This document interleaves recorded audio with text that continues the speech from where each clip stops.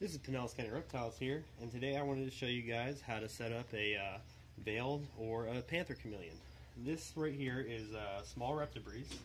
It's your most basic setup for uh, any baby veiled or panther chameleon. Um, their care varies a little bit, um, but it's virtually the same.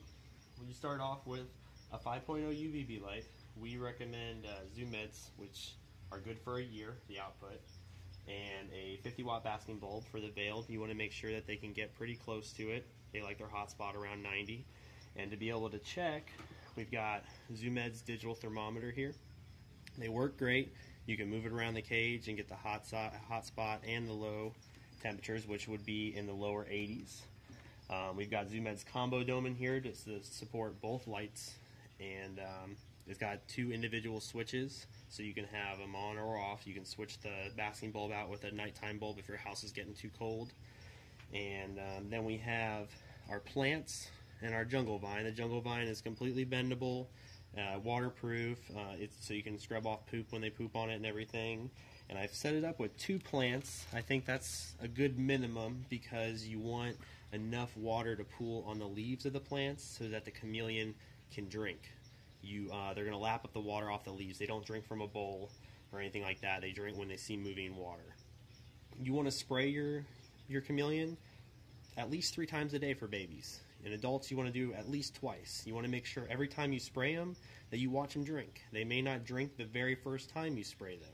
You want to come back a couple minutes later and spray down the cage again because you want to make sure that your chameleon is staying hydrated. That's one of the number one causes of death in chameleons is people not paying attention and their chameleon dehydrating.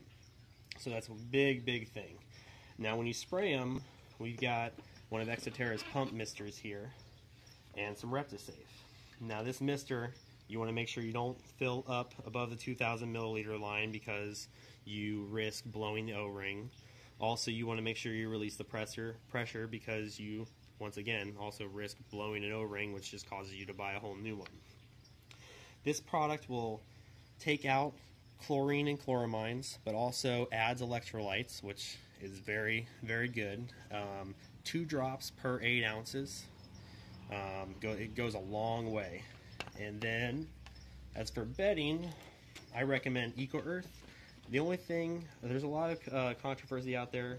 Some people don't like it, but I, I prefer it. I think it works great.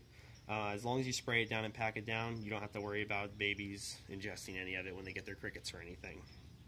Um, when we feed our chameleons, we make sure all their food is dusted with Repticalcium every single feeding, even if it's three feedings a day, which we recommend for young baby chameleons. Also, Reptivite we recommend at least once a week. We have a saying here, we call it Mineral Monday. It's an easy way to remember it